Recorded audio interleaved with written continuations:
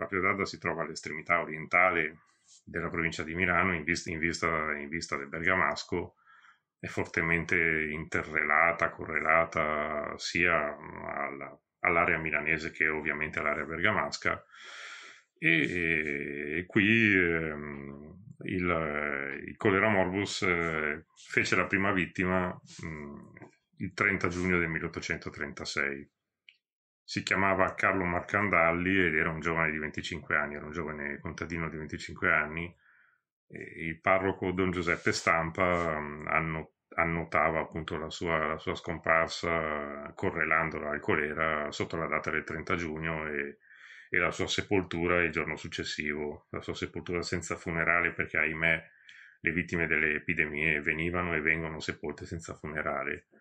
Quindi il primo luglio del 1836.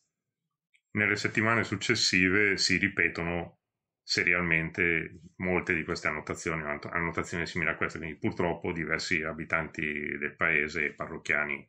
di Don Stampa perdono, perdono la vita.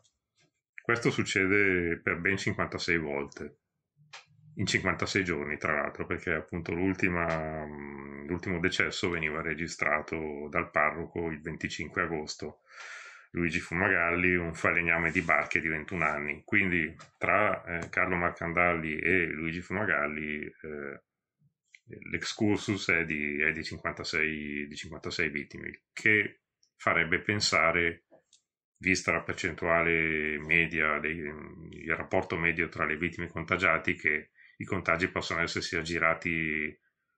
sul centinaio e oltre di vittime, cioè oltre il centinaio di vittime, in una località che contava circa 2000 abitanti.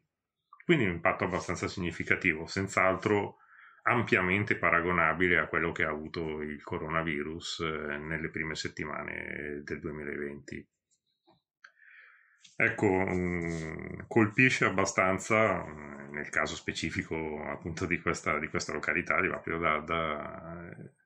il, il, fatto che il parroco Don Stampa è evidentemente ben radicato nel territorio e probabilmente anche nutrendo un amore verso questa località dove si trovava dal 1795, ormai quindi da un quarantennio, in alcuni casi poneva a margine dell'atto, dell'atto di morte anche delle annotazioni private. E, e ne mette subito una sulla sulla morte di Carlo Marcandali, quindi la prima vittima del colera a Vapio d'Adda, e scrive queste parole. Questo primo caso fu sì violento e terribile che i gendarmi di guardia piansero per timore e spavento. Val più un prete che mille soldati. Quindi Don Stampa, parroco di Vaprio, siamo in età austriaca, c'è probabilmente anche una, una componente di conflitto latente o esplicito tra l'autorità eh, religiosa che lui rappresentava e quella civile che allora ovviamente incarnava la presenza austriaca sul territorio. Scrive questa nota in cui vuole, sembrerebbe voler rimarcare la sua saldezza di fronte alla sua saldezza morale, personale, di fronte a questo evento dirompente che aveva colpito il territorio e la confronta appunto con invece la, la fragilità di questi giovani soldati che non avevano retto lo spettacolo sicuramente, sicuramente non piacevole della morte di un loro coetaneo causato dal colera.